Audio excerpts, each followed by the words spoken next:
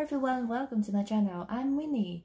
Today is April's Fool's Day. 今日系愚人节，愚人节。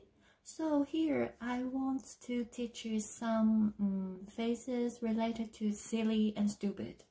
So how to say don't be silly, don't be silly in Cantonese. We can say like this. 唔好傻啦，唔好傻啦，or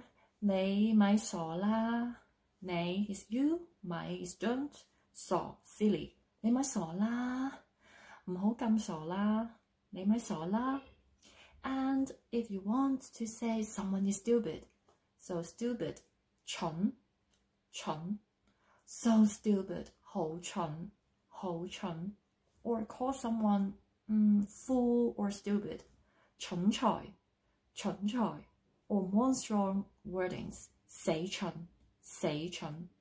But 死蠢 is rather a strong wording, so be careful when you use it. Okay, so I hope you learned something from this video and please give me a like and subscribe my channel. Thanks so much for supporting and um, if you have any suggestion and comment, please leave underneath and I will read them. And see you all again. 我哋下次再見，多謝收睇，拜拜。